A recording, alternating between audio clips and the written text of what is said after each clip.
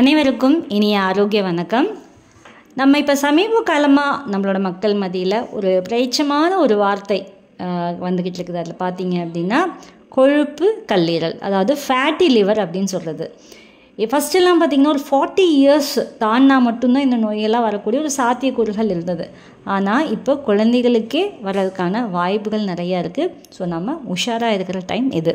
சரி கொழுப்பு கல்லீரல் அதாவது ஃபேட்டி லிவர்னால் என்ன அப்படிங்கிறத நம்ம பார்ப்போம். ஸோ இதில் பேர்லேயே இருக்குது பார்த்தீங்க லிவரில் ஸோ லிவரில் இருக்கிற கொழுப்பு தான் நமக்கு ஃபேட்டி லிவர்னு சொல்லுவாங்க. இது ரெண்டு வகையில் நமக்கு ஏற்படுது. ஒன்று பார்த்திங்க அப்படின்னா மது அருந்துறவங்க ஃபஸ்ட்டெல்லாம் வந்து ஃபேட்டி லிவர் வந்தாலே அவங்க ஆல்கஹால் யூஸ் பண்ணுறவங்க தான் அப்படிங்கிறத வந்து நம்ம தெரிஞ்சுக்கலாம். பட் இப்போல்லாம் பார்த்தீங்கன்னா நான் ஆல்கஹால் அதாவது ஆல்கஹால்லாம் யூஸ் பண்ணாமல் இந்த குடி பழக்கம் இல்லாதவங்களுக்கும் இந்த மாதிரி நோய்கள் உருவாகுது அப்படிங்கிறது இப்போ தெரிஞ்சுக்கணும். இது எங்கே கண்டுபிடிக்கிறாங்கன்னு பார்த்தீங்கன்னா ஏதோ ஒரு பிரச்சனைக்காக அல்ட்ராசவுண்டு ஸ்கேன் மாதிரி எடுக்கிறாங்கன்னு வச்சுக்கோங்களேன். அந்த டைமில் தான் தனக்கு இந்த மாதிரி ஃபேட்டி லிவர் இருக்குதுங்கிறதே கண்டுபிடிக்க தோணுது. ஃபஸ்ட்டெல்லாம் பார்த்தீங்கன்னா இதில் சிம்டம்ஸே நமக்கு தெரியாது. இதெல்லாம் லிவரெல்லாம் பொறுத்த வரைக்கும் நாள் நாட்பட்ட நாளில் தான் நமக்கு தெரியும். இனிஷியல் ஸ்டேஜில் நமக்கு இது பெரிய சிம்டம்ஸ்லாம் நமக்கு காமிச்சு கொடுக்காது. ஆனால் இந்த அல்ட்ராசவுண்ட் ஸ்கேன் எடுக்கும்போது பார்த்தீங்க அப்படின்னா நமக்கு வந்து ஃபேட்டி லிவர் இருக்கிறது நமக்கு தெரிய வரும். ஸோ அப்படி தெரிஞ்சிச்சு அப்படின்னா நீங்கள் வந்து உங்களோட உணவு முறையும் உங்கள் வாழ்க்கை முறையும் நம்ம மாற்றணும் அதுக்கு முன்னாடி இந்த நோய் எப்படி உருவாகுது அப்படிங்கிறத நம்ம பார்க்கலாம். இப்போ வந்து நான் ஆல்கஹால் அதாவது குடி பழக்கம் அந்த மாதிரி இல்லாதவங்களுக்கும் ஏன் இப்போ வருதுன்னு பார்த்தீங்கன்னா நம்ம அதிகப்படியான எடுக்கிற மாவு சத்துக்கள் தான் இதுக்கு முதல் காரணம் அப்படிங்கிறத நம்ம புரிஞ்சுக்கலாம். இப்போ கல்லீரலில் பார்த்தீங்க அப்படின்னா கல்லீரலோட வேலையே இந்த கொழுப்பை வந்து நமக்கு உருவாக்கும். சேகரித்து வைக்கும். நமக்கு எப்பெல்லாம் வந்து தேவையோ அந்த டைம் நமக்கு உடலில் கொடுக்கும். உதாரணமாக ஒரு சின்ன எக்ஸாம்பிள் இதை வந்து நம்ம பார்க்கலாம். இப்போ ஒரு வீட்டில் ஒரு அம்மா இருக்கிறாங்க. மாவாட்டி வச்சுருக்காங்க. ஹஸ்பண்ட் பார்த்திங்கன்னா வீட்டில் வந்து மாவு ஆட்டலன்னு சொல்லிவிட்டு அவங்களும் வந்து மாவு வாங்கிட்டு வந்துடுறாங்க. எடுத்து ஃப்ரிட்ஜில் வச்சிடுறாங்க. திருப்பியும் அவங்க வீட்டில் பெரிய பையன் அவனும் மாவு வாங்கிட்டு வந்துடுறான். அதையும் வாங்கி ஃப்ரிட்ஜில் வச்சுக்கிறாங்க. நிறைய அதிகப்படியான மாவு வந்துருச்சு. ஃப்ரிட்ஜில் வைக்கிறதுக்கு இடமே இல்லை. என்ன பண்ணுவாங்க? மாவு வெளியில் வைப்பாங்க. புளிச்சு போய் அந்த வீடே எப்படி இருக்கும்னு யோசிச்சு பாருங்கள் அதே போல் அதிகப்படியான மாவு சத்துக்கள் எடுக்க எடுக்க எடுக்க எடுக்க என்னாகும் அப்படின்னா அது நமக்கு கொழுப்பாக நமக்கு படிய ஆரம்பிச்சிடுது ஸோ அதிகப்படியான மாவு சத்துக்கள் அப்படிங்கிறது என்ன நமக்கே தெரியும். அரிசி அரிசி உணவுகள் அதிகமாக நம்ம எடுக்கிற காரணத்தினால தான் நமக்கு இது ஏற்படுது. ஸோ அரிசி உணவுகள் அப்போ முறை அப்போ வந்து கம்ப்ளீட்டாக நம்ம அவாய்ட் பண்ணணுமா அப்படிங்கிறது கிடையாது. அரிசி உணவுகளில் நம்மளோட பாரம்பரிய அரிசி உணவுகள் எடுக்கும்போது இந்த மாதிரி ஒரு பிரச்சனைகள் நமக்கு வராது. அது எப்படி அப்படிங்கிறது நான் வந்து ஃபைனலாக சொல்கிறேன் ஸோ அதிகப்படியான மாவு சத்துக்கள் நம்ம அவாய்ட் பண்ணிவிட்டு எப்போவுமே பேலன்ஸ்டு டயட்டாக புரதமும் நார் சத்துக்களும் நமக்கு வந்து கு- இந்த மினரல் அயனு இந்த மாதிரி உண உணவுகள் எல்லாமே கலந்து நம்ம சாப்பிட்றது தான் நம்ம முறையான ஒரு உணவு பழக்கம். அதில் அதிகமாக நம்ம வந்து காலையில் தோசை மதியானம் சாப்பாடு நைட்டு வந்து சப்பாத்தி இப்படியே அதிகமாக நம்ம மாவு சத்து உள்ள உணவுகள் எடுக்க எடுக்க எடுக்க எடுக்க என்னாகும் அப்படின்னா நமக்கு வந்து கொல்லீர் கல்லீரலேருந்து கொழுப்பு நமக்கு உருவாகி அப்படியே படிய ஆரம்பிச்சிடும். அதிகமான கொழுப்பு இருந்தால் அவங்க தான் என்ன பண்ணுவாங்க?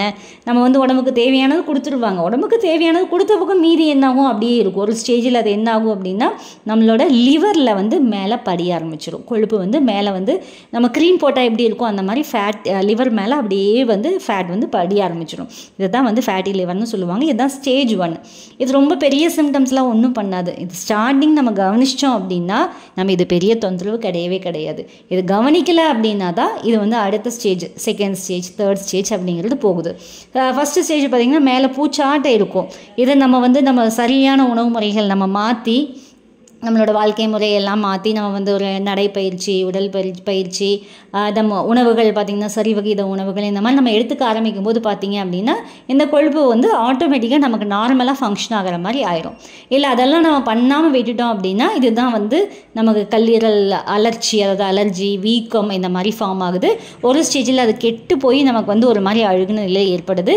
இது இப்போ இப்போது அதுவும் பார்த்தீங்கன்னா லிவர் டிரான்ஸ்பிளான்டேஷன் மாதிரியெல்லாம் வந்து அதிநவீன ஒரு சிகிச்சை முறைகள்லாம் நமக்கு வந்துருச்சு. பயப்பட தேவையில்லை.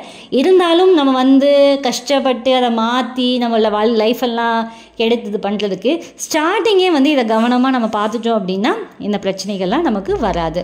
ஸோ இப்போ வந்து பார்த்திங்கன்னா என்ன பண்ணணும்? அப்போ கொழுப்பு சேராமல் இருக்கணும்னா நம்ம என்ன பண்ணணும் அப்படின்னு பார்த்தீங்க அப்படின்னா நம்ம நார்மலாக மதுவை மறக்கணும். மது உடல் ப பயிற்சி நம்ம செஞ்சு உடல் எடையை வந்து கரெக்டாக வச்சுக்கணும்.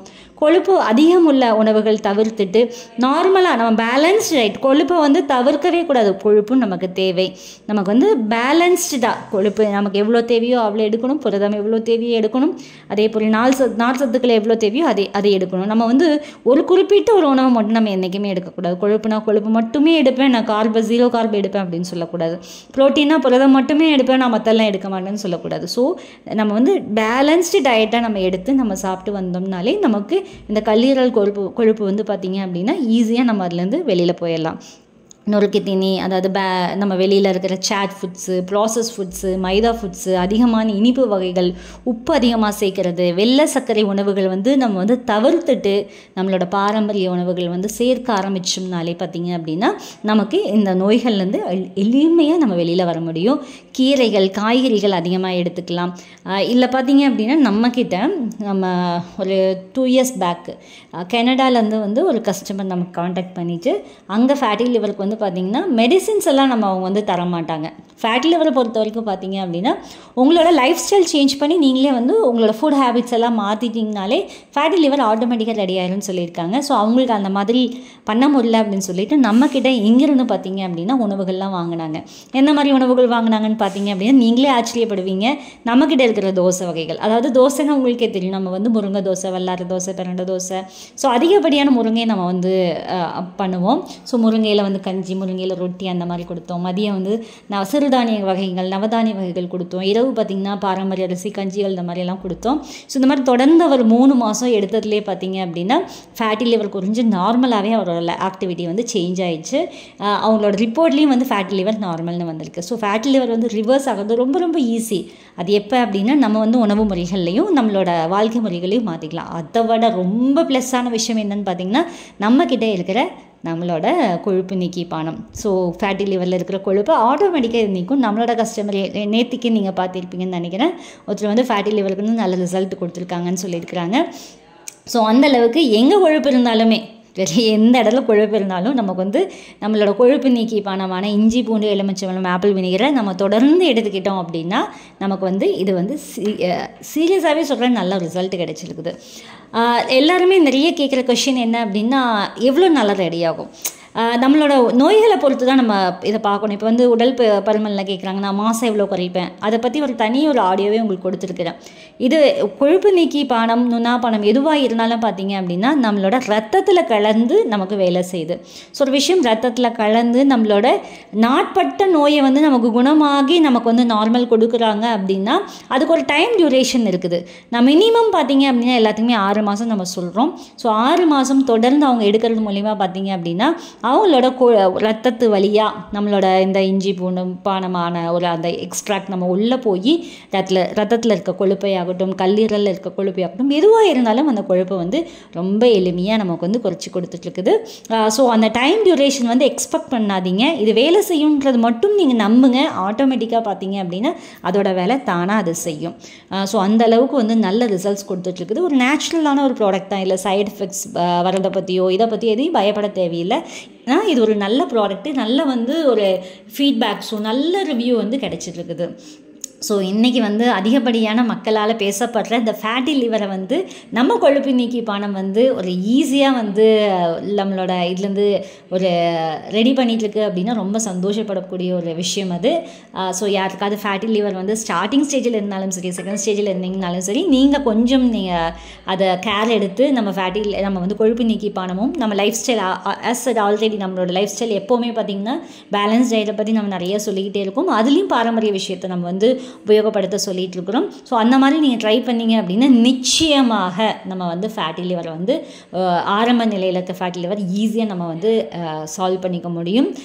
ஸோ உங்களுக்கு இல்லை அப்படின்னு வேறு யாருக்காவது உங்களோட ஃப்ரெண்ட்ஸ் அண்ட் ரிலேட்டிவ்ஸ் யாருக்காவது ஃபேட்டி லிவர் இருக்குது அப்படின்னா நீங்கள் இந்த ஆடியோ கூட ஷேர் பண்ணுங்கள் யாருக்காவது வந்து கொழுப்பு நீக்கி பானம் வேணும் அப்படின்னா nine seven eight nine seven nine three seven one eight நான் ரிப்பீட் பண்ணுறேன் nine seven eight nine seven nine three seven one eight அப்படிங்கிற எண்ணுக்கு வாட்ஸ்அப் செஞ்சு உங்களோட கொழுப்பு நீக்கி பணமை நீங்களே வாங்கிக்கலாம்.